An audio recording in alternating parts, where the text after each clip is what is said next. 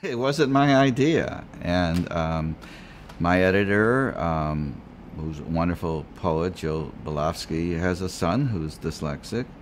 And she heard that I had given a commencement talk at a Churchill School, which is a well known local New York school for LD. Um, and um, once I did, she got a hold of the three page um, talk I gave called My Dyslexia and she thought I should write a book called that. I am still in shock. I don't know how to react to it. I mean, the poet in me is highly resentful. I mean, this doesn't, even with a major prize, you don't get this kind of response. So this is quite something else. I mean, this is, um, yes. The, uh, every now and then I'm asked to give a poetry reading, and I'm always grateful. this is, um, I, yes, I'm being cast into a role that's new, quite new to me, and um, I'm moved by it.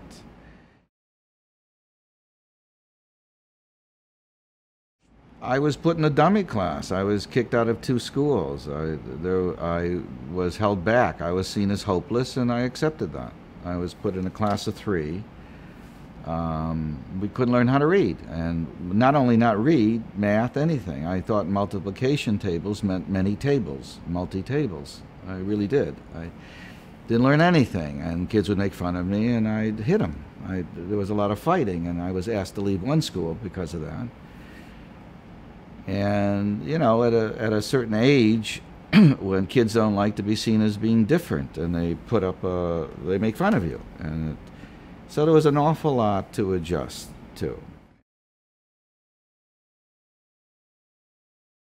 There was a, a young woman at an award ceremony who had won a major prize from NASA Space Center for physics. She was 16, Melissa Kay. And I write about her. And she got up there and she said dyslexia was her secret weapon. That she knew that the competition was very smart, but that they hadn't overcome years and years of not knowing how to read and having to go through her struggle. They were just applying their high intelligence to a science problem.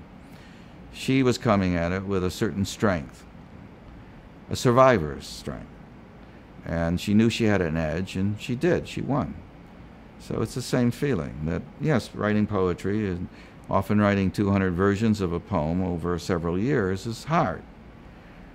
But it's kid stuff sometimes compared to what I have to go through to get myself to even try to write it.